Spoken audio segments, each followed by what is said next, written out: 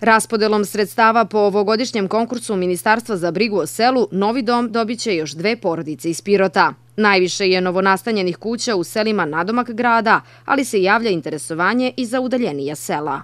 Sad smo dobili sredstva za u Vranište i za Veliki Jovanovac. To je ukupno 40, e, sredstva za 41 kuću ovdje kod nas u Pirotu.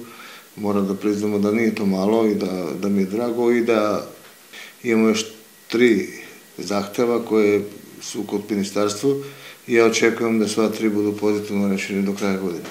Pošto je do 1. novembra traje ovaj konkurs, e, to je ono za ovu godinu što što mi možemo kao lokalna supravo da pomognemo našim sugrađanima da dobiju ta sredstva. Prate se i drugi aktualni konkursi Resornog ministarstva kojima se doprinosi poboljšanju života na selu. Raspisana su još dva.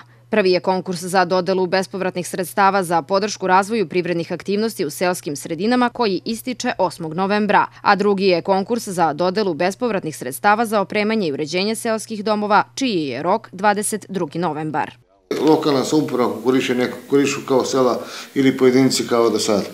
Ovde kod prvog oko doma u selu, znači vlasnik mora da bude grad, može tu zanatske radove, montažne radove za uređenje sanitarije, za opremu i u to, a drugi, drugi konkurs je za prirodne aktivnosti u seoskim sredinama.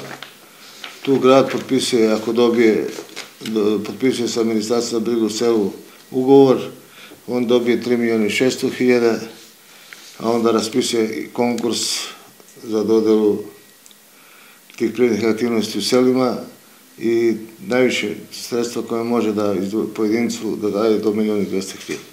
Prema rečima Vidojka Panajotovića, grad Pirot će zasigurno konkurisati po ovim pozivima ministarstva i obavestit će blagovremeno građane o uslovima i načinu realizacije ukoliko oni budu odobreni.